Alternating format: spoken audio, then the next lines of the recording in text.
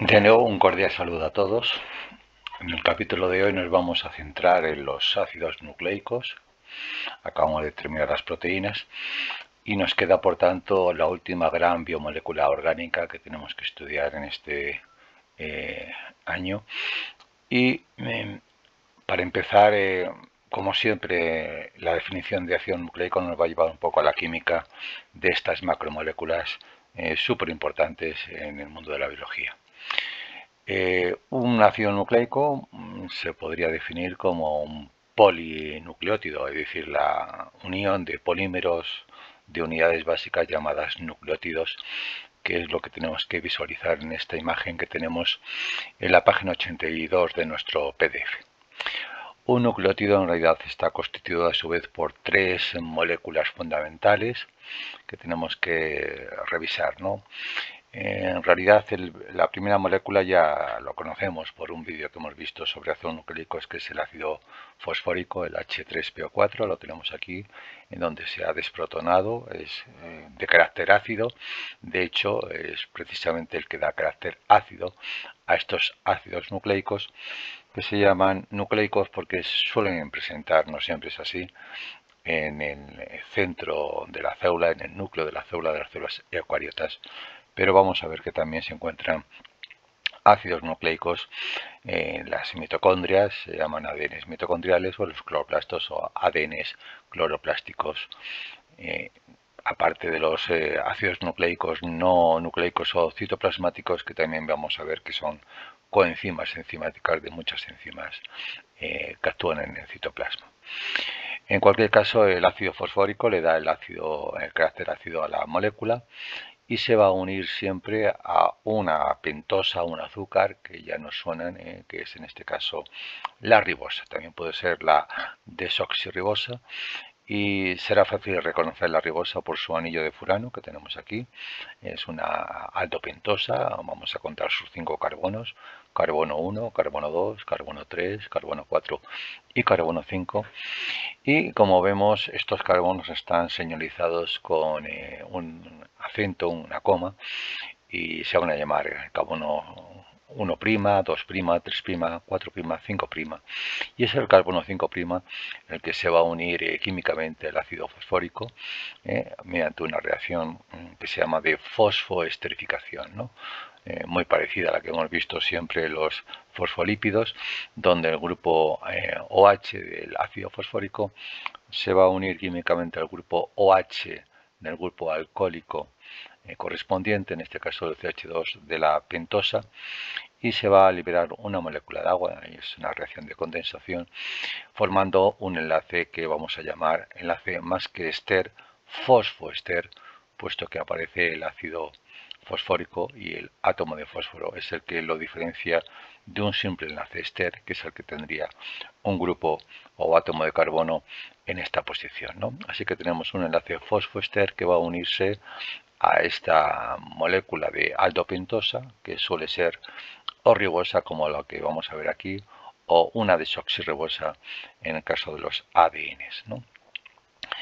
Y por el otro lado, el carbono 1', el carbono anomérico, que tiene 1H, eh, en posición beta en este caso, esta aldopentosa, que ya os anticipo que es la ribosa, pues se va a unir también mediante un, enlace de tipo éter, muy parecido al enlace O glucosídico de los azúcares, pero en lugar del OH de otro azúcar, aquí nuestro eh, aldopentosa se va a unir siempre a un eh, átomo nitrogenado de lo que se llaman bases nitrogenadas. Aquí vamos a adelantarnos un poquito.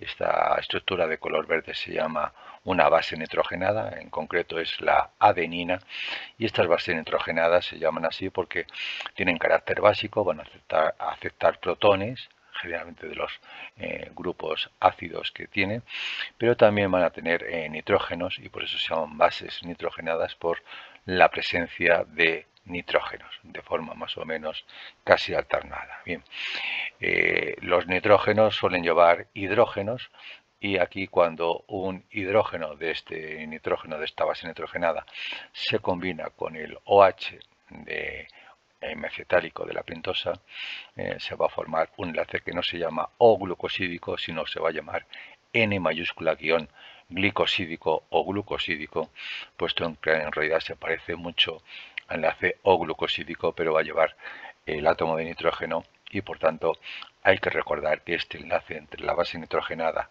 y la ribosa se llama enlace N, N eh, mayúscula guion glucosídico. Bien, pues el conjunto de estas tres moléculas, base nitrogenada, en un extremo, en el carbono 1' asociado al carbono 1' de la aldopentosa, que sería la segunda molécula del nucleótido, y el ácido fosfórico se llamaría un nucleótido. En realidad, eh, se suele decir a veces que también hay un nucleósido, palabra muy parecida, cuando solamente tenemos la base nitrogenada y la pintosa eh, y por tanto parece que es como un azúcar asociado a una base nitrogenada por eso se llama nucleósido. Palabra que podemos confundir con nucleótido que es la que realmente presenta ya la tercera molécula esencial eh, que luego se van a unir entre ellas formando esos ácidos nucleicos Así que tenemos eh, un nucleótido que presenta estas tres estructuras, pero que realmente lo que va a variar es eh, la base nitrogenada. Aquí nos ponen en color verde la adenina, pero hay que saber que hay cuatro bases nitrogenadas típicas del ADN y hay otras cuatro bases nitrogenadas típicas de otro tipo de ácido nucleico que vamos a llamar ARN, ácido ribonucleico. Y para un poco introducirnos en las bases nitrogenadas y un poco en las diferencias entre los dos eh, ácidos nucleicos, vamos a pasar un poco a la siguiente presentación y vamos a ver qué tipo de bases nitrogenadas tenemos que reconocer. En realidad no tenemos que memorizar sus eh, grupos químicos, que como vemos son eh, bastante complejos, pero sí tenemos que reconocer un poco cuáles son las bases nitrogenadas que como vemos tienen formas hexagonales o a veces un poco más grandes de anillos cíclicos, no solamente hexagonales, sino también asociados a anillos pentagonales. Bien, los anillos hexagonales en, realidad se parecen a un compuesto orgánico en química que se llama la pirimidina. La pirimidina, como vemos, es como una especie de hexágono muy parecido al benceno, que tiene dos grupos de nitrógenos eh, eh, alternados por dobles enlaces. Vemos aquí un doble enlace, un enlace sencillo, doble enlace, y el nitrógeno aparece en la parte inferior y en la parte superior izquierda tiene las anillos de pirimidina una eh, numeración un poco engorrosa, ¿no? Van en el sentido eh, horario, pero empiezan de izquierda a derecha. Y entonces tenemos que reconocer que las bases pirimidínicas tiene el nitrógeno 1 eh, en posición inferior, el carbono 2, carbono 3, carbono 4, 5 y 6. Y por ello van a haber tres bases pirimidínicas que hay que reconocer, aunque no hay que memorizar sus grupos químicos, ¿no? Solamente vamos a memorizar sus, eh, digamos, nombres básicos y su presencia o no en los ácidos nucleicos eh, que van a ser diferentes en unos y en otros. Bien, para que nos fijemos, la citosina, por ejemplo, la citosina es un anillo de pirimidina, eh, que como vemos eh, tiene una semejanza enorme con este anillo, pero si nos fijamos en el carbono 2 eh, y en el carbono 4, tienen grupos diferentes. Aquí hay un grupo carbonílico, que vamos a llamar oxo, y un grupo amino, NH2, que está situado aquí. Básicamente, para solamente ver un poco la engorrosa nomenclatura, se llamaría a la citosina la 4-amino 2-oxo-pirimidina. Para nosotros, cuando veamos un anillo de pirimidina, eh, pues podemos imaginar que pueden ser la citosina, la timina y el uracilo. Con la timina pues pasa algo parecido, es un anillo de pirimidina, pero que como vemos tiene en la posición 2 y 4 dos grupos carbonilos u oxo y en la posición 5 un grupo metilo CH3. Ya os digo que no hay que memorizar, pero sí hay que saber un poco que la timina eh, sería una base nitrogenada de tipo pirimidínica y ya nos vamos un poco a adelantar, como dice aquí, que solo se presenta en esos ácidos nucleicos que nos suena mucho, que son los ADN. DNA en inglés, ácido desoxirribonucleico, y son los que lleven en timina serán solo los de tipo ADN. En este caso sería la 5-metil 2,4-dioxopirimidina, en que sería otra base pirimidínica. Y el uracilo, que se parece mucho a la timina, no en el nombre, pero sí en la composición química, fijaros que en carbono 5 el grupo metilo ha desaparecido y esa en realidad es como una timina pero sin grupo metilo, es el, simplemente el 2,4 dioxo pirimidina. ¿no? Bien, pues lo más importante es que el uracilo nunca se presenta en los ADN y siempre está presente en los ARN. Sería quizá la primera gran diferencia que vamos a ver en la composición química de un ADN y de un ARN. Haciendo hincapié, eh, la timina solo va a estar presente en los ADN, en los ácidos desoxirribonucleicos, y el uracilo eh, va a estar solo presente en los ARN o ácidos ribonucleicos. Nosotros vamos simplemente a eh, simplificar eh, el uracilo con una U mayúscula, la timina con una T mayúscula y la citosina con una C mayúscula y nos vamos a olvidar un poquito cuál es la fórmula química y los grupos funcionales que van asociados a estas bases eh, Y luego hay dos bases púricas que afortunadamente eh, para nosotros se encuentran tanto en los ADNs como en los ARNs. Son la adenina y la guanina, que como veis ya son un poco más complejas y derivan del anillo de purina, que es un anillo hexagonal, muy parecido al anillo de purina, pero que lleva un anillo pentagonal asociado a ese anillo de pirimidina. Y para más complicaciones la formulación empieza no abajo donde hemos encontrado, sino de una forma antihoraria con el nitrógeno 1 en la parte superior izquierda, carbono 2, nitrógeno 3, 4, 5 y 6 y a partir de aquí da un salto al nitrógeno 7, 8 y 9 que va ahora en sentido horario. Ya os digo que no hay que memorizar esta estructura ni su numeración, pero fijaros que nos va a salir con mucha frecuencia una base púrica llamada la adenina, una base grande, por decirlo así, que va a llevar siempre en el carbono 6 un grupo amino. Y para un poco simplificar, eh, la formulación sería el 6-amino purina a la adenina, que nos vamos a olvidar un poco de su formulación, pero hay que saber que la adenina la vamos a eh, simbolizar por la letra A. Y además existe una base púrica, también muy parecida a la adenina, pero si os fijáis, aquí en lugar de tener un grupo amino en el carbono 6, lo tiene en el carbono 2, mientras que en el carbono 6 tiene un grupo cetónico. ¿no? Es la 2 amino 6 oxopurina, pero volvemos a decir que solo hay que reconocer el símbolo abreviado de G mayúscula para la guanina. Eh, así que al final eh, vamos a tener enlaces N-glicosídicos en las adeninas con este nitrógeno 9 o con las guaninas en el nitrógeno 9, mientras que haber enlaces N-glicosídicos en el nitrógeno 1 con la citosina, con la timina o con el uracilo. Volviendo a la segunda gran diferencia en los nucleótidos de tipo ADN y ARN, eh, la segunda gran diferencia está en eh, la pentosa, en la aldopentosa. ¿eh? Vemos aquí que había cinco carbonos y nos están ilustrando que hay que, ahí sí que hay que un poco identificar también cuál es la disposición de los grupos OH que presenta esta aldopentosa. La ribosa siempre presenta sus grupos OH hacia abajo aquí en carbono 1 eh, casi siempre ya sabemos que puede tener el eh, carbono numérico la isomería beta, como en este caso, o eh, la isomería alfa, que también se puede dar, pero el enlace va siempre a ser de tipo beta 1,9, N-glicosídico, ¿no? o N1, 1,1, perdón, cuando sea la base pirimidinca.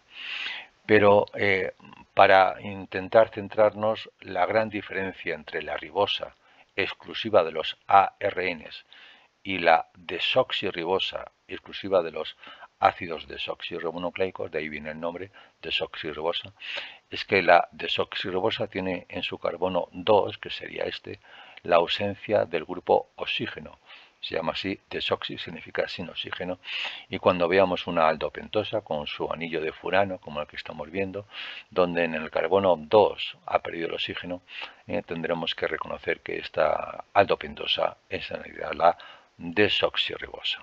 Exclusivo, ya os digo, de los ADNs, mientras que la ribosa, que son las que estamos viendo aquí, son nucleótidos de tipo ARN.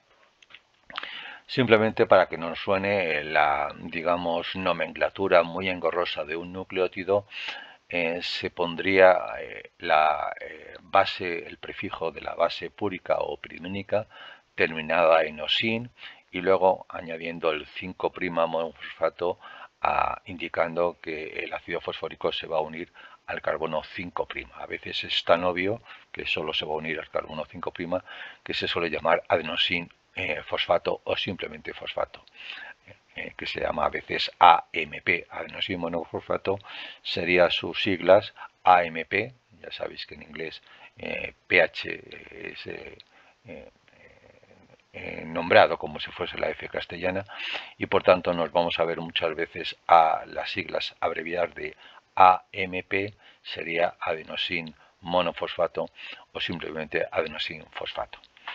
Eh, cuando veamos ATP, que también nos van a salir en muchos nucleótidos que tienen adenosin trifosfato, sería un nucleótido que tendría adenina y el trifosfato eh, sería uno que tuviese un ácido fosfórico, por supuesto, en el carbono 5' de la ribosa, pero que también habría un segundo ácido fosfórico y un tercer ácido fosfórico y sería un nucleótido tuviese un poco extraño tres ácidos fosfóricos. Se va a llamar ATP y nos va a eh, sonar mucho en las reacciones enzimáticas donde se necesita energía. Se llama un cofactor energético y sería un ejemplo de nucleótido, que no está en los ácidos nucleicos, pero que es, esencial para la regulación de los procesos eh, metabólicos o procesos de obtención de energía. Bien, pues para complicar más, eh, este nucleótido que nos están exponiendo aquí es un nucleótido de tipo ARN, puesto que lleva la ribosa, pero si tuviésemos este mismo nucleótido con adenina, con ácido fosfórico y con desoxirribosa, con una eh, ausencia en el carbono 2 de 1H, tendríamos que hablar un poquito con más propiedad que no vamos eh, generalmente a pedir tanto en este curso y decir que se llamaría a este nucleótido con el desoxiadenosin 5' eh, monofosfato.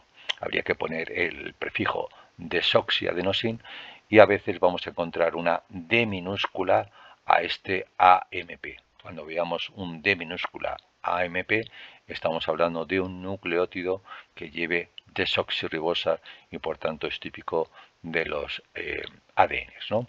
Así que vamos a encontrar cuatro nucleótidos, eh, cuatro nucleótidos de los ARNs y cuatro nucleótidos también de los ARNs. Pero eh, solamente por curiosidad hay que saber cómo se nombrarían los nucleótidos de tipo ARN, sería adenosin 5' eh, monofosfato, guanosin 5' monofosfato y volviendo a los nucleótidos eh, de los ARNs tendríamos el citidín, en las bases púricas terminan en idín, citidín 5' eh, monofosfato y uridín 5' monofosfato. En el caso de que hubiese un nucleótido de, ADN tendríamos el desoxitimidín 5' monofosfato. ¿no? Como vemos es muy engorrosa la nomenclatura, pero la segunda gran diferencia ya la encontramos en que eh, tenemos eh, bases, eh, perdón, azúcares con ribosa, ARNs, o con desoxirribosa de tipo ADN. Y la tercera gran diferencia se encuentra un poquito en cómo se unen los nucleótidos unos con otros. ¿no? Aquí tenemos eh, un nucleótido de adenina, ¿eh? donde eh, tenemos el ácido fosfórico con un símbolo círculo más o menos anaranjado y que se ha fosfoesterificado al carbono 5' de lo que estamos viendo aquí, una, una aldopentosa. Si nos fijamos, este es el carbono 2, eh, tiene solo un hidrógeno, ha perdido un OH y estamos viendo un nucleótido que es de desoxirribosa. Estamos hablando de la desoxiadenosin 5' monofosfato. tendríamos aquí este primer nucleótido, pero vemos que en el carbono 3 de este azúcar, de esta desoxirribosa, eh, que tenía un OH aquí, se ha producido un, un segundo enlace fosfoester con otro nucleótido que sería el nucleótido de citosina. La citosina está aquí, unida lógicamente por su enlace N-glicosídico a la desoxirribosa, eh, pero en su carbono 5 lleva el ácido fosfórico y este ácido fosfórico no solamente se fosfoesterifica a su nucleótido, a la desoxirribosa, sino con otro grupo H también puede conseguir una fosfoesterificación con el carbono 3' del primer nucleótido. Y por eso decimos que tenemos aquí ya un eh, ácido fosfórico que está doble esterificado con los eh, nucleótidos correspondientes. Y entonces un nucleótido se une a otro mediante un enlace fosfodiester que se llama, puesto que aquí nos están enseñando un enlace fosfoester nuevo y otro que ya había previamente. ¿no? El tercer nucleótido nos un poco ilustra en una base púrica, la guanina, que tenemos en, unida a su eh, mediante el enlace N, glucosídico con el nitrógeno 9 de esta desoxirribosa y a su vez está unido a un ácido fosfórico. Y nuevamente aparece en color azulito otro enlace fosfoester que une este dinucleótido a este nucleótido formando ya lo que se llama un trinucleótido. ¿no? Y por último aparece la timina, que recordemos que es una base pirimidínica exclusiva del ADN, por eso tenemos que llevar siempre la desoxirribosa asociada y encontramos que el ácido fosfórico eh, forma también su nucleótido y por tanto eh, forma ya un tetranucleótido al formar un nuevo enlace fosfoester con el trinucleótido previo. Eh, la polaridad que nos van a pedir muchas veces las moléculas es que digamos dónde se encuentra el extremo 5' inicial y el extremo 3' final.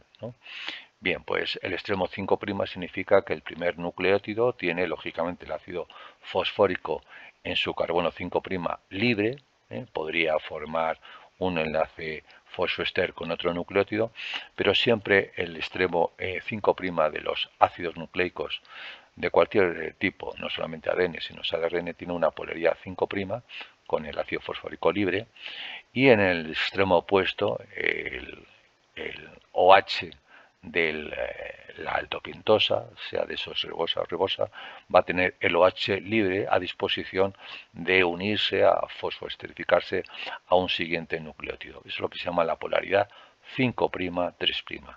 Eh, resumiendo, sería el extremo 5' el que tenga el OH de su primer nucleótido libre y el extremo 3' que tuviese un OH en el carbono 3' de la aldopentosa libre, dispuesto a, ya os digo, hacer un eh, siguiente enlace fosfoester. Bien, pues quizá eh, la tercera gran diferencia es que eh, cuando estamos viendo un ADN, como en este caso, realmente estamos viendo solamente una cadena, esta cadena que hemos visto de eh, cuatro nucleótidos de adenina, citosina, guanina y citosina, que a partir de ahora los vamos a simplificar con A, C, G y T para no, eh, obviamente, hablar de que estamos hablando de nucleótidos. ¿no? En realidad es un poco impreciso decir que T, que es solamente la base nitrogenada, eh, es lo que hay. En realidad no solamente timina, sino lo que vemos, eh, estas cadenas que estamos viendo, que se llaman fosfoglucídicas y que realmente tienen que estar siempre presentes los ácidos nucleicos. ¿no? Bien, pero lo que quería decir como tercera gran diferencia de un ADN a un ARN está en que Aquí solo vemos una cadena, pero los ADN deben llevar dos cadenas, los ADN de los seres vivos, quitando algunas excepciones como los virus, que no son realmente seres vivos, pero cualquier ADN, desde un organismo muy simple como las bacterias hasta nosotros, deben llevar eh, eh, esas dos cadenas de una forma que vamos a ver muy característica, ¿eh? Pero no pueden estar separadas. ¿no? Eh, si tenemos aquí una adenina, vamos a ver que se va a enfrentar la adenina siempre a las timinas, es importante recordar este emparejamiento, ¿eh? y las citosinas que hay en esta cadena se van a enfrentar a otra cadena que hay que imaginarnos aquí, que sería de guanina. por supuesto las guaninas se van a enfrentar a las citosinas y las timinas siempre se van a enfrentar a las adeninas. Muy importante este emparejamiento, timina, adenina, guanina, citosina, citosina, guanina, adenina, timina. Nunca una citosina se va a emparejar a una adenina, sería un error importante. Y esa sería la tercera gran diferencia con respecto a los ácidos ribonucleicos, que aquí un ácido ribonucleico sí es monocatenario, solo tiene una hebra, una cadena, mientras que los ADN, aunque no lo veamos aquí, son bicatenarios, tienen dos hebras o dos cadenas, como vamos a ver, complementarias. Esa sería la tercera gran diferencia a nivel químico y quizá la cuarta diferencia sería un poco el papel biológico que tienen los ADNs y los ARNs. Hay que saber que los ADN, lo hemos visto en cursos pasados, almacenan la información genética del individuo. ¿eh? Básicamente tenemos diferentes longitudes o número de nucleótidos. ¿eh?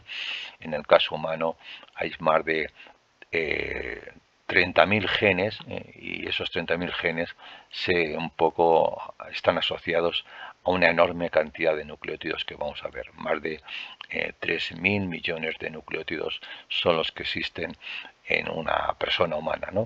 Y esa secuencia de nucleótidos, que no tiene por qué ser igual, de hecho no hay ningún eh, ser humano que se parezca uno a otro en la secuencia de nucleótidos, esos 3.000 millones de nucleótidos básicamente son diferentes en la secuencia. Probablemente entre los hermanos la secuencia de nucleótidos, lo que se llama la secuencia primaria, muy parecida a los aminoácidos de las proteínas, esas secuencias sean muy parecidas, pero siempre habrá alguna diferencia y eso es lo que hace que cambien. Al final, estas secuencias de nucleótidos es importante recordar que van a salir en forma de ARNs mensajeros y por tanto los ADNs almacenan información genética, pero quien transmite la información genética desde el núcleo hacia los ribosomas son los llamados ARNs en un proceso llamado de transcripción y esa transcripción va a tener lugar en los eh, ribosomas, sobre todo citoplasmáticos, y al final esas secuencias de nucleótidos se van a transformar en secuencias de aminoácidos en un proceso que se llama traducción y al final ese es el misterio de la vida, transformar un lenguaje un poco engorroso como vemos, eh, que no reconocen las células, a un lenguaje de aminoácidos a través de un intermedio que es el ARN mensajero. Por tanto, la cuarta diferencia es que los ADNs almacenan información genética y los ARNs transportan esos genes o esa información genética desde el núcleo o el cromosoma bacteriano que no lo tiene hacia los ribosomas de la célula. Así que mm, entramos ya un poquito en lo que se llaman las estructuras, estructuras eh, de complejidad de los ácidos nucleicos y nos vamos a centrar en primer lugar en el ADN y ya otro día nos centraremos en los diferentes tipos de ARNs. Como en las proteínas, eh, las estructuras del ADN se van a un poco a clasificar en estructura primaria, secundaria y terciaria. No hay estructura cuaternaria eh, y hay que saber un poco definir la estructura primaria, secundaria y terciaria de los ADNs y de los ARNs. La estructura primaria es la que os he comentado aquí. Tenemos en la página 84 el ejemplo de estructura primaria. Es la secuencia determinada que tenga un eh, ADN. Cualquier ser vivo tiene una secuencia de nucleótidos determinada, en este caso adenina, citosina, guanina, timina, pero no tienen por qué ser tan diferentes eh, las secuencias, ¿no? Puede venir en primer lugar una adenina en extremo 5', puede seguir otra adenina, puede seguirle una timina y de esa forma las eh, combinaciones posibles son enormes. ¿no? Fijaros que en cada posición hay cuatro alternativas en la siguiente habría también cuatro alternativas. Si combinamos esta primera con la segunda serían 4 por 4, 16 posibilidades ya solamente de cambios entre dos nucleótidos. ¿no? Y si multiplicamos por 4 pues ya serían 64 posibilidades ¿eh? que realmente empiezan a ser muy complejas. ¿no? Eh, por tanto, eh, las combinaciones son enormes y cada ser vivo no solamente cada especie, sino cada ser vivo, eh, tiene su secuencia primaria puesto que hay tantas cantidades de posibilidades que no hay dos seres humanos iguales.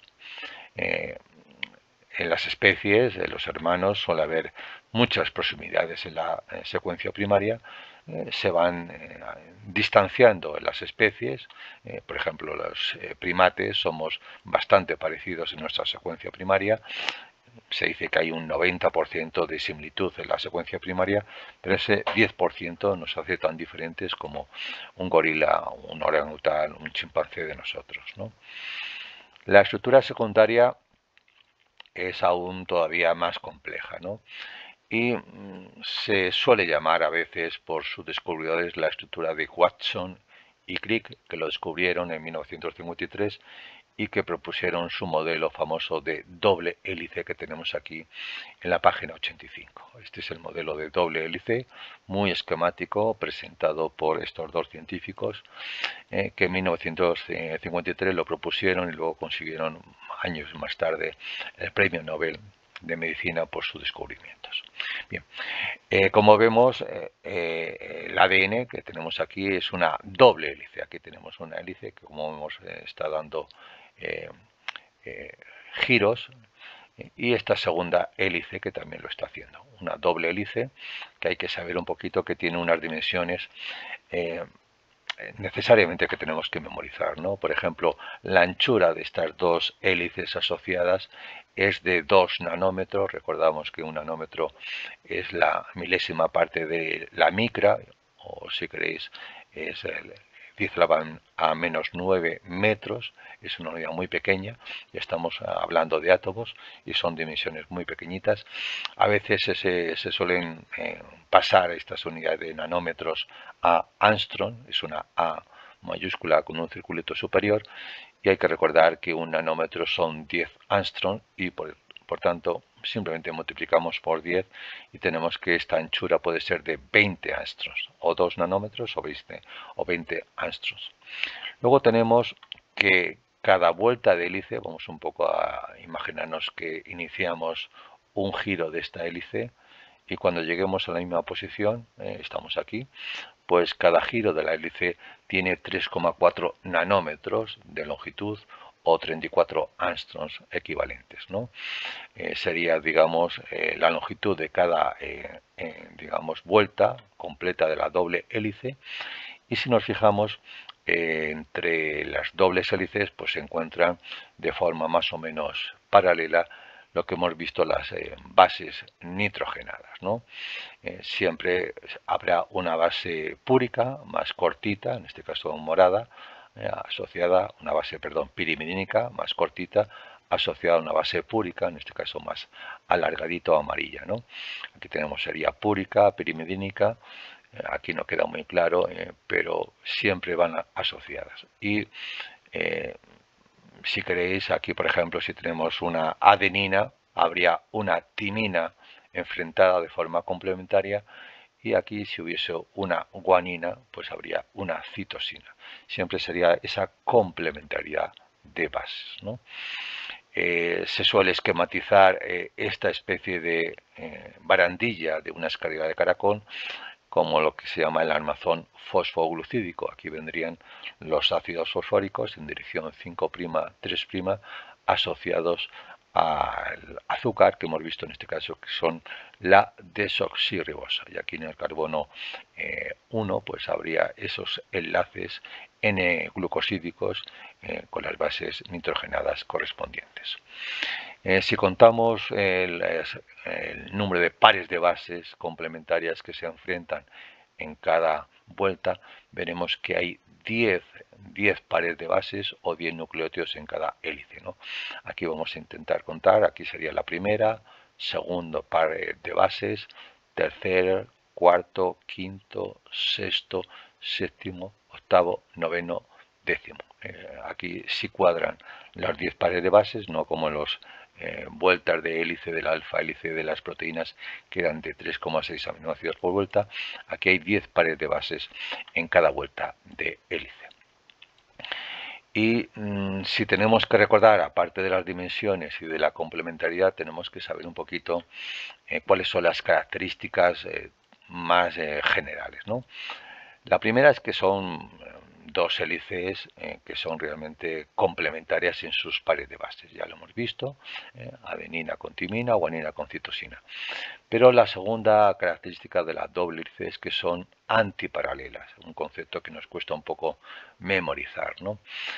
si cogemos este lado superior de la doble hélice, vemos que aquí hay una hebra y otra hebra o cadena y esta hebra vamos a suponer que empiece, como hemos visto por el extremo 5' con el ácido fosfórico libre 5' y si continuamos girando y llegando al extremo, este sería el extremo 3', ¿eh? final opuesto de esa hebra.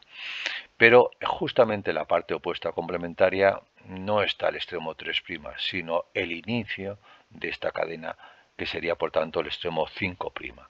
El 5' empezaría por aquí con el ácido fosfórico libre, eh, seguiríamos haciendo enlaces fosfoester, continuaríamos y en la parte extrema tendríamos el extremo opuesto al 5'. Aquí tendríamos un 5' y aquí tendríamos un 3' y aquí tendríamos un 3' y un 5'. Así que eh, si nos fijamos en un extremo, si nos dan un extremo que es el 5', el otro complementario será antiparalelo o de signo opuesto, 3'. Nunca son cadenas paralelas. Una cadena paralela sería el que tuviese un extremo el 3' aquí y el 3' también aquí y en la parte opuesta 5', 5'. Esto no ocurre en ningún ADN, son lo que se llaman antiparalelos y hay que recordar que cogiendo un extremo de la doble hélice, si un extremo es 5', el otro con toda seguridad es opuesto al 5', el 3', es decir, que tiene en su azúcar, acordaros, un OH todavía libre a disposición de formar un siguiente nucleótido con otro nucleótido que viniese en esta posición. Eso se llama eh, lo que se llaman cadenas antiparalelas, aparte de ser complementarias. Eh, luego hay que saber que el enrollamiento se llama destrógiro eh, y plectonémico, es otra tercera y cuarta característica de la doble hélice. Si comenzamos por la parte inferior, cogiendo la cadena que se encuentra más cerca de nosotros, pues siempre subiendo hacia arriba en esta cadena más próxima o más cercana hacia nosotros, vemos que esta cadena siempre tiene a tirar giros hacia la derecha cuando se acerca hacia nosotros. Aquí en esta posición, eh, este giro es destrógiro, vuelve un poco a girar hacia la izquierda, pero cuando vuelve hacia nosotros, esta cadena siempre se dice que tiene un sentido destrógiro. Eh, si fuese levógiro, que nunca va a ser, pues si cogiésemos esta cadena que se acerca a nosotros, como veis está más cerca que nosotros que la posterior, pues eh, tendríamos que girar hacia la izquierda y la hélice sería, siempre que nos encontramos en partes centrales, girar el hacia la derecha, hacia la izquierda. Bueno, pues esta complejidad en su giro se llama destrógira, que significa en latín que gira hacia la derecha. Y para más complejidad, también una característica de la doble es que es plectonémica. Aquí tenemos el nombre eh, muy complejo, plectonémica, que significa que una cadena que está mm, enlazada doblemente en forma de hélice no se puede separar de derecha a izquierda las dos hélices estirando eh, literalmente hacia extremos opuestos. ¿no? Si lo hiciésemos, estirar este extremo de esta cadena hacia la derecha y el otro hacia la izquierda, se produciría un superenrollamiento, esto se enrollaría aún más ¿eh? y como un cordón de zapatos no podría realmente abrirse. Así que plectónica significa que no se puede abrir estirando sus hebras hacia eh, lados opuestos, pero sí se puede abrir, como vamos a ver, estirando o separando los extremos superiores 5' y 3' eh, por agentes que vamos a llamar desnaturalizantes y que van a ser los mismos agentes desnaturalizantes que las proteínas. En el caso del ADN, el, agente más eh, desnaturalizante es el calor y cuando estas cadenas a partir de los 100 grados centígrados eh, cogen esta temperatura, se van a ir rompiendo los puentes de hidrógeno que hay que saber que son los que estabilizan una hélice con otra. Eh, se me ha olvidado decir que cuando haya una adenina con una timina va a haber dos puentes de hidrógeno entre ellos que van a estabilizar estas dos hélices que en principio estarían separadas si no hubiese puente de hidrógeno. Y en cuestiones de guaninas y citosinas hay que recordar que hay tres puentes de hidrógeno entre una guanina y una citosina. Son por tanto más numerosos y las eh, cadenas o las dobles hélices que tengan guaninas citosinas pues son más difíciles de desnaturalizar o separar. Pero a 100 grados cualquier ADN sea rico o no en guaninas citosinas, se van a separar eh, sin ningún tipo de problema y en este caso el carácter pretonímico no nos interesa porque realmente se va a poder separar perfectamente las dos hebras. De hecho, eh, el ADN está constantemente desnaturalizándose, no significa que pierda propiedad, pero se deben separar las dos cadenas básicamente en dos procesos que vamos a ver en este capítulo, que es la duplicación del material genético del ADN. Cuando el ADN se quiere duplicar ante una mitosis, eh, tiene que formar de esta doble hélice dos dobles hélices. Lo va a hacer de forma enzimática, pero primero desnaturalizándose, abriéndose literalmente, eh, no por calor, sino por enzimas que abren esta doble hélice. Pero también se va a abrir la doble hélice cuando haya la transcripción. Se tiene que abrir una hélice para que sirva de molde para formarse ARNs de forma complementaria. Así que ya tenemos la segunda eh, estructura de los ADNs, eh, que es bastante más compleja de los ARNs, puesto que son bicatenarios y que por tanto conllevan pues, estas dimensiones de 20 angstroms y de 34 angstroms por vuelta. Eh, se me ha olvidado decir que entre peldaño y peldaño, entre par de base y par de base, pues lógicamente la décima parte de 3,4 angstrom, 0,34 nanómetros, perdón, de 3,4 nanómetros, la décima parte, décima parte será 0,34 y si hablamos en angstrom de 34 angstroms, cada par de bases, par de bases estaría separado por 3,4 angstroms. Bien, pues estas son las características que hay que recordar, dimensiones, emparejamientos, anti, eh, eh, paralelidad de las cadenas y por supuesto el carácter plectonémico y destrógeno de la eh, doble hélice. Y respecto a la estructura terciaria, pues no vamos a verla aquí en este momento, pero cuando un ADN o cualquier material genético se asocia a proteínas, eh, se va a hablar de estructura terciaria y va a tomar dos nombres esa estructura terciaria que la vamos a ver en detalle cuando estudiemos un poco eh, la división nuclear. Eh, cuando se duplique el material genético, pues vamos a ver que el ADN va a tener asociación con proteínas llamadas histonas y que van a formar un armazón que va a estabilizar la doble hélice.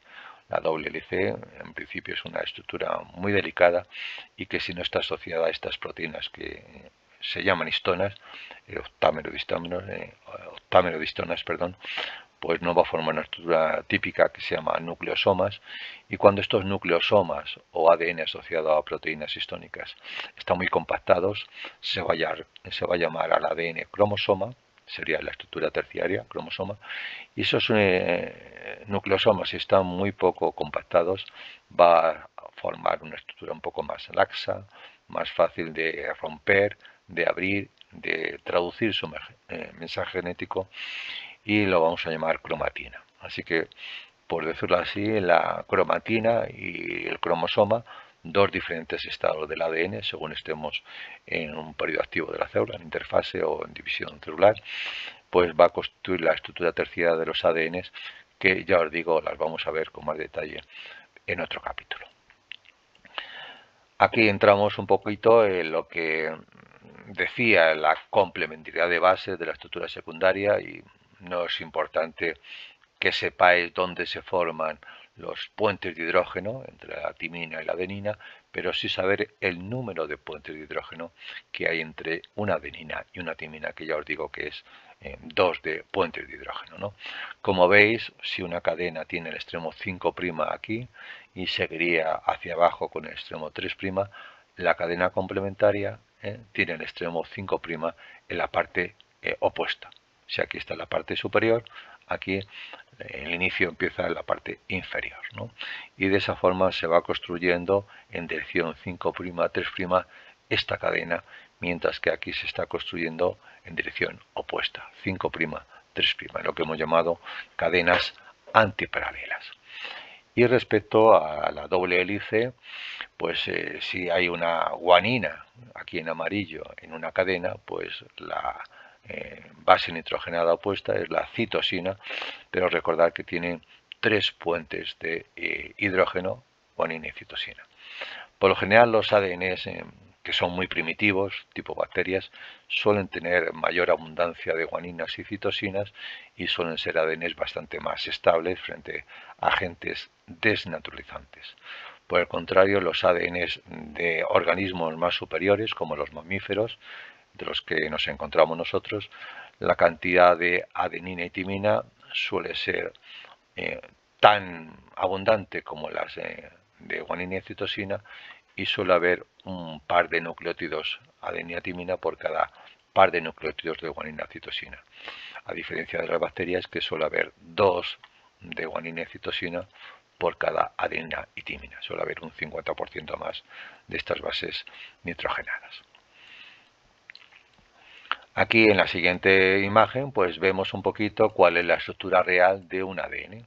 Tenemos ya en forma bidimensional una hebra en dirección 5', extremo 5' libre, 3' libre, con su H dispuesto a formar otro enlace de fosfoester con el siguiente nucleótido. Vemos que son complementarias las cadenas, eh, timinas con adeninas, eh, adeninas con timinas, en amarillo creo que están las guaninas con las citosinas, y esto sería citosina guanina, como vemos tres eh, puente de hidrógeno y dos en adeninas timinas. ¿no? La cadena opuesta no solamente es complementaria, sino también es antiparalela. El extremo inferior está hacia abajo y termina el extremo 3' eh, con el OH de la desoxirribosa libre a disposición de formar otro nucleótido. Y en la derecha tenemos el modelo real, el modelo de bolas eh, tridimensional de esta doble hélice. ¿no? Eh, no se ha hablado un poquito de los surcos, eh, pero conviene que sepáis que aparte de ser de estrógira, esta cadena que se ve aquí muy mal eh, el carácter de estrógiro, pero volviendo a la estructura más esquemática, si nos fijamos, esto es un poco ya curiosidad de la doble hélice, en estos 10 pares de bases, en estos 3,4 nanómetros que hay en cada hélice, en cada vuelta que hemos visto que es esta de la doble hélice, hay un surco eh, que es de mayor diámetro interno y hay otro surco que se llama surco menor, este es el que es de menor diámetro interno. Por lo general el surco mayor tiene un 60% de la longitud de los 34 eh, angstroms y el 40% es el surco menor ¿eh? y se van alternando surcos menores con mayores este sería un surco menor y un surco mayor. Pero sepáis que esto quizá ya eh, sobrepasa el nivel de nuestro curso. Y volviendo a la estructura del ADN, pues lo más importante es que sepáis que es una estructura donde quizá habría que hablar de que las paredes de bases, eh, como vemos aquí un poquito eh, enfrentadas, se encuentran de forma muy horizontal en la doble hélice. Este modelo que se llama modelo B eh, del ADN es diferente del modelo A, donde las eh, bases nitrogenadas, las paredes de bases, se encuentran inclinadas eh, con cierto ángulo entre ellas y no completamente horizontales como en este modelo. El modelo A se propuso en su momento como el modelo de todos los ADNs biológicos pero se ha visto que el modelo B es el auténtico real, en que en la mayoría de los ADNs eh, biológicos son los funcionamientos activos y las paredes basas se encuentran completamente ordenadas como si fuesen los peldaños de una escalera de, caracol. Aquí ya estamos un poco entrando en consideraciones de genética, ingeniería genética que vamos a ver ya en el último eh, trimestre, ¿no? pero quizá nos interese ahora recalcar la palabra replicación, que también se llama duplicación del ADN. ¿no? Cuando las eh, células se vayan a dividir por mitosis o por meiosis, previo a este proceso de división, tienen que formar dos, eh, dos moléculas idénticas. ¿no? Aquí tenemos una molécula que realmente es el tipo del ADN que debe tener todo el mundo. ¿eh? Y cuando nuestras células se vayan a dividir, pues de una se tienen que formar dos eh, moléculas idénticas con la misma secuencia primaria y con la misma estructura que hemos visto, idénticas entre sí, que se llaman cromátidas hermanas. Esto sería un cromosoma y cuando se duplique lo vamos a ver que se van a denominar cromátidas o ADNs eh, idénticos o gemelos. ¿no?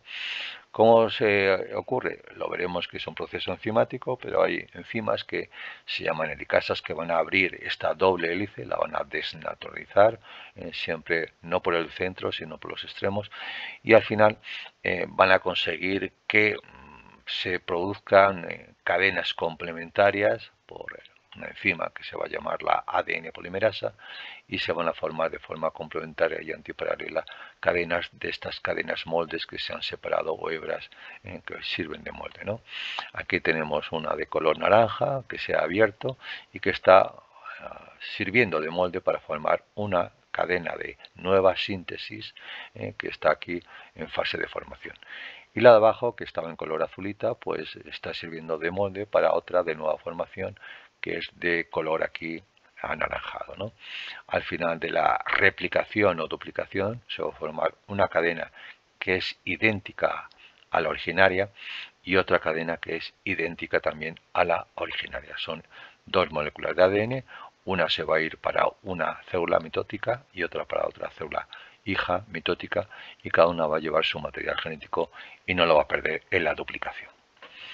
Eh, veremos que esta duplicación se llama semiconservativa porque de las dos cadenas que hay, una es antigua, en este caso la antigua es eh, la naranjita, y el azul es de nueva síntesis. Por el contrario, aquí hemos visto que el azul es de antigua y la de nueva síntesis es de color anaranjado. ¿no? Así que cuando se produce la duplicación, solo se conserva de las dos cadenas una y la otra es de nueva síntesis y se dice que esa duplicación es semiconservativa. Aquí vamos un poco a recalcar el carácter eh, básico del ADN. ¿Para qué sirve el ADN? Sencillamente para almacenar genes, ¿no? Es como un disco duro de nuestro ordenador que almacena pues diferentes genes. Cada gen sería seguramente, vamos a ver, una proteína que va a dar un carácter. Caracteres que vamos a estudiar en genética menderiana y que vamos a ver como ojos claros, ojos oscuros sería un carácter, pelo rizado o pelo liso sería otro carácter y en realidad esos caracteres son secuencias primarias del ADN diferentes. El que tenga colores claros en los ojos es que tiene una pequeña diferencia en la secuencia primaria de nucleótidos con respecto al que tenga los ojos oscuros. ¿no? Y al final cada gen va a tener diferentes alternativas que vamos a llamar alelos, que son diferentes secuencias primarias de unas personas a otras. ¿no?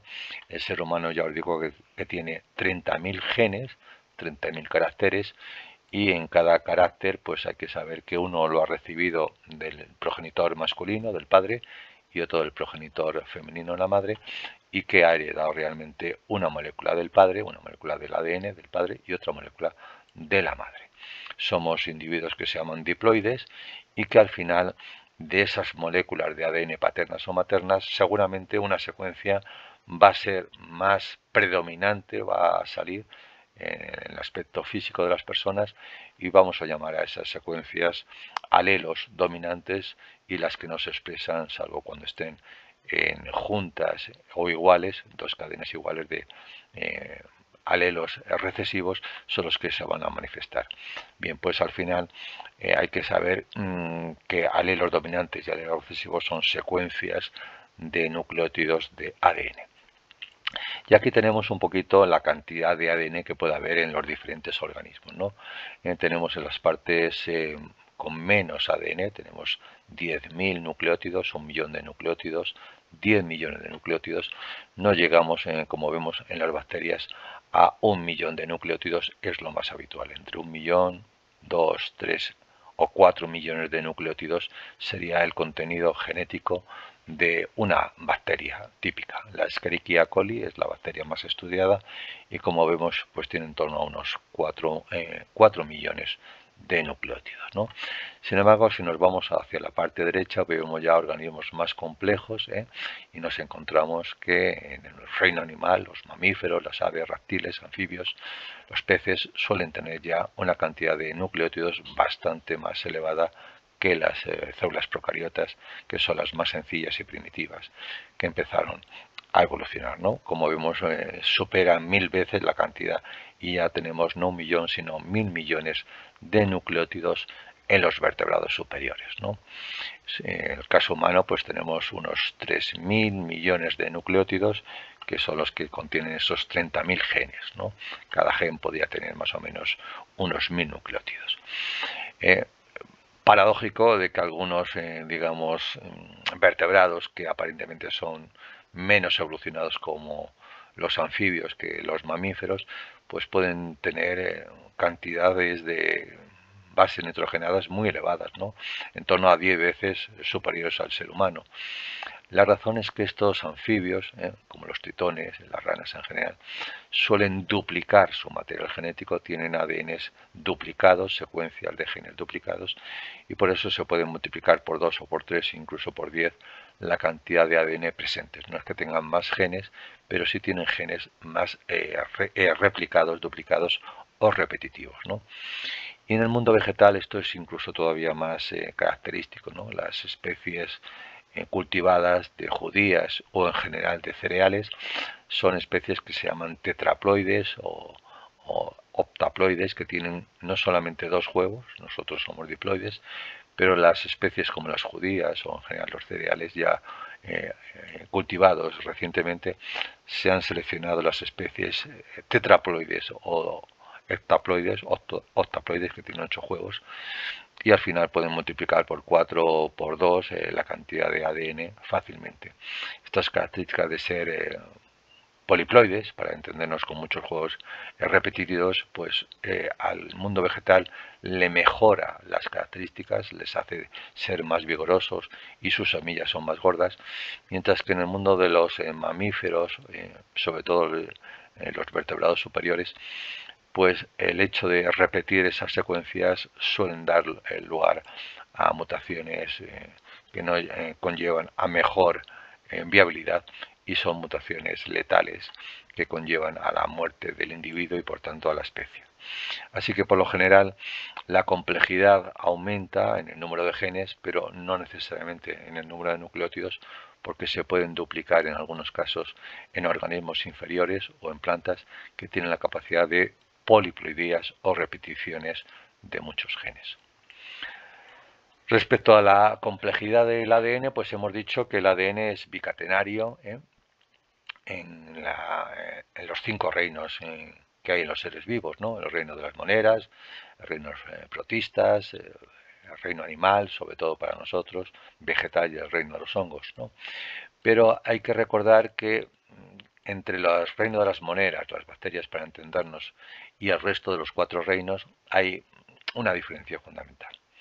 En las bacterias o reino de las moneras, el ADN de luego es bicatenario, pero no es lineal, una cadena como el que hemos visto en la doble hélice, sino lo que se llama un ADN bicatenario circular. ¿eh? Aquí se unen eh, los extremos inferiores y superiores y queda como un anillo y a este único ADN bicatenario circular se suele llamar cromosoma bacteriano. Y es una gran diferencia respecto a lo que hemos visto al ADN bicatenario y lineal que hay en el resto de los cuatro reinos eh, que hay que recordar, reino animal, vegetal, hongos y protistas, que son de este tipo, ADN bicatenario lineal. Algunos virus, eh, que no son seres vivos, eh, puesto que no tienen las tres funciones vitales, eh, pues tienen evidentemente material genético y que lo sirven para su poder infeccioso. ¿no? Y hay que saber que hay ADNs de todo tipo en el mundo de los virus, que ya os digo que no son seres vivos, y hay ADNs bicatenarios lineares, como el virus de la hepatitis, pero a veces hay ADNs monocatenarios lineales, monocatenarios con solo una cadena ¿eh? y también hay monocatenarios circulares o bicatenarios circulares. En el mundo de los virus eh, se puede dar cualquier alternativa. ¿no?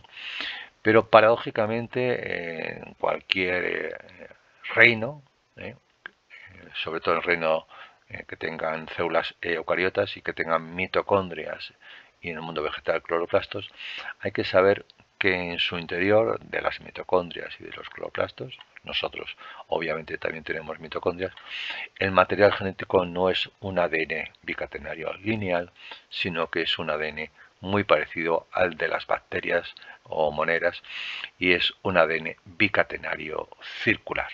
A veces están asociados de dos en dos, ¿eh? incluso a veces hay dos cromosomas separados, uno de mayor tamaño y otro de menor tamaño que se suelen llamar plásmidos. Los plásmidos suelen ser eh, muy típicos de bacterias resistentes a antibióticos y ese segundo plásmido tiene una serie de genes adicionales que no tiene el cromosoma principal que le dota de esas características de supervivencia frente a antibióticos, por ejemplo. Y volviendo un poquito a la estructura terciaria, que aquí tenemos un poco el esquemita un poco mejor, hay que saber que el ADN, esa doble hélice que tenemos aquí, eh, lineal, pues no se encuentra por lo general aislada, sino asociada a esta estructura circular que vamos a llamar octamerodistonas y que en realidad son ocho proteínas que están asociadas y que como una especie de armazón interno eh, favorecen que se enrollen sobre ellas de forma externa el ADN, dan como dos vueltas y media cada ADN ah, hacia el otro eh, nucleosoma, que es lo que estamos viendo, primer nucleosoma, segundo, tercer y cuatro nucleosoma. Y esta asociación de histonas y ADN se llama nucleosomas, pero pueden estar, como vemos aquí, muy distantes, separados entre sí, y se llamaría cromatina, donde el ADN eh, está realmente activo, funcional, está fácilmente eh, separándose para formar eh, ARNs mensajeros que salgan hacia los ribosomas y se puedan traducir pero cuando la célula se va a dividir, eh, se condensan estos nucleosomas, se acercan entre sí y el ADN, que es muy poco visible al microscopio óptico, que se llama cromatina, se empieza a compactar y forma estructuras filamentosas visibles al microscopio óptico y que se llaman cromosomas. En realidad son nucleosomas muy emparejados, muy juntitos unos con otros y veremos que hay diferentes grados de empaquetamiento que vamos a llamar estructuras terciarias y que tienen diferentes nombres, pero que en definitiva ahora mismo no solo nos interesa saber que son eh, cromatina, poco compactado y forma activa del ADN, o cromosomas muy compactados, o formas no activas del ADN, es decir, que no están transcribiendo en esos momentos, porque lo que hace o lo que es necesario simplemente es eh, formar, eh, formar mitosis y por tanto separar los filamentos. En esta imagen tenemos lo que realmente es importante del concepto de desnaturalización del ADN. A diferencia de la desnaturalización de proteínas, en las ADN se pueden separar sus doble hélices, se pueden desnaturalizar, como vemos en condiciones un poco extremas, de 100 grados centígrados y pHs muy básicos, alcalinos próximos a 13, y en esas condiciones se produce la separación o desnaturalización de la doble hélice de la estructura secundaria, eh, de esta forma que hemos visto, eh, empezando por los extremos, nunca de forma plectonémica. Y también se puede producir la renaturalización sencillamente cuando las condiciones extremas desaparezcan. ¿no? Si hemos calentado a 100 grados en condiciones alcalinas y volvemos a condiciones neutras y de temperaturas ambientales de 20 grados, estos fragmentos separados, estas hebras o cadenas están completamente separadas, se van a unir eh, nucleótido a nucleótido de forma exacta a la molécula originaria.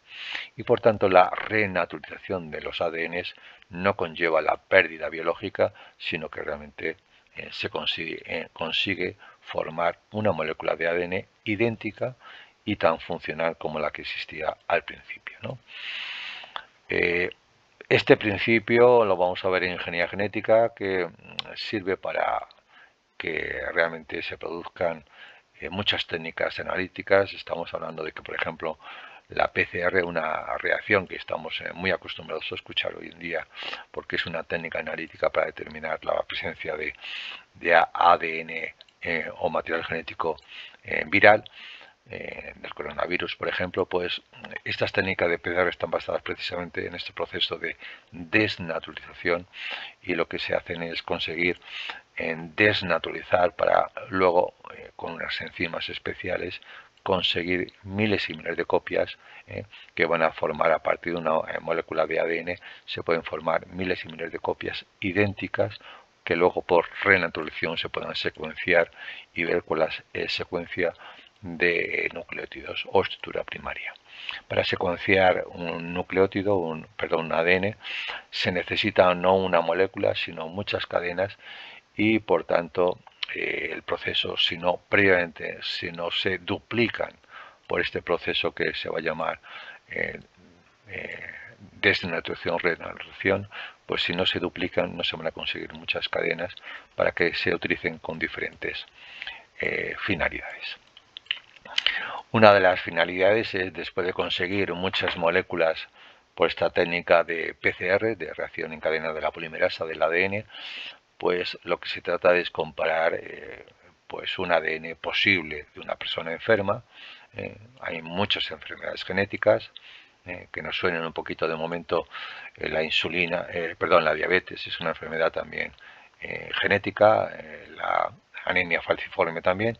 Básicamente lo que tienen son secuencias primarias de nucleótidos alteradas respecto a la secuencia primaria de un ADN de una persona normal. ¿no? Si nos fijamos en este ADN que en principio es sano, perfecto, y lo comparamos con una persona enferma, pues todo es la secuencia primaria muy similar, menos quizá en un nucleótido. En este caso tenemos todo igual, hasta la guanina, guanina, citosina, pero a partir de esta timina la secuencia primaria es adenina y sin embargo aquí aparece la timina. Aquí ha habido una sustitución, un cambio de bases de adenina por timina y eso hace que este ADN no produzca la proteína adecuada y tenga una enfermedad determinada. Podría ser, por ejemplo, la diabetes o podría ser la anemia falciforme. ¿no? Para ello lo que se va a hacer es coger el ADN de una persona, que no se sabe si tiene esa enfermedad genética, se le va a proceder la desnaturalización con el objeto de que se, a través de esta técnica de PCR se consigan miles y miles de moléculas de ese ADN eh, para que posiblemente luego tras su secuenciación se consiga cantidad suficiente de ADN para compararlo con un ADN sano y ver si realmente tienen el mismo patrón. Eh, se van a estudiar las secuencias de nucleótidos y si se ve que son secuencias idénticas al sano, pues esa persona es sana, pero si se compara con un ADN o la secuencia de nucleótidos de un ADN eh, enfermo y son muy parecidas, podemos decir, podemos o se puede diagnosticar que esa persona sí tiene la enfermedad correspondiente. Por eso esta técnica la vamos a estudiar en ingeniería genética cuando ya hayamos visto un poquito los procesos de duplicación del material genético, donde esta enzima es la base de todo, la que se llama la ADN polimerasa y que se encuentra siempre en cualquier técnica que conozcamos, eh, que nos suene eh, de PCR. Las PCR no solo sirven para eh, análisis de identificación del coronavirus, sino que sirven para muchas técnicas como identificación de ADNs de personas sospechosas o simplemente para conseguir ADN, para clonar a una especie que queramos eh, reproducir. Bien, yo creo que con esto empezamos ya, sería el siguiente tema con los ácidos ribonucleicos. Podemos terminar este tema de los ADNs por hoy y emplazarnos a otro día con los ácidos ribonucleicos que también son bastante complejos en su nomenclatura. Muchas gracias por vuestra atención. Hasta otro día.